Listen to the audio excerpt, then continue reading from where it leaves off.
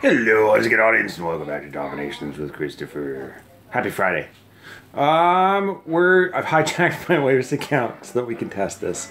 Uh, the question is, do donated British ranged troops lose their range? This question comes as a result of this. It's a visual glitch.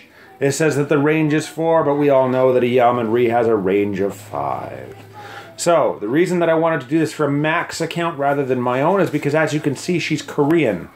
Uh, she's got a full army. Let's go ahead and... Actually, you know what? We're not even going to do it in multiplayer. Let's go and do it just in not multiplayer. That way we can uh, just dump those troops, literally. While we're waiting for that, I want to retrain my troops over here.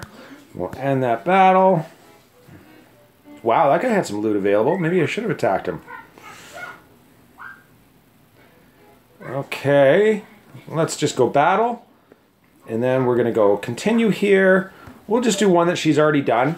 Um, that way we can actually just literally...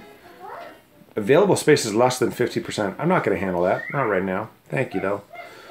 Uh, let's see. Where can we go? And...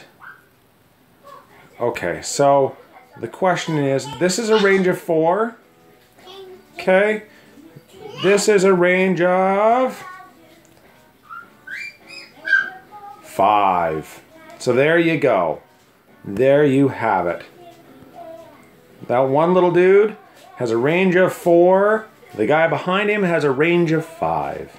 It is a visual glitch. Uh, all right. And that's that. We're going to kill him. Let him die. And there you have it. Thank you very much for watching. Uh, as always, well, not as always. Today, this Friday, have a great day.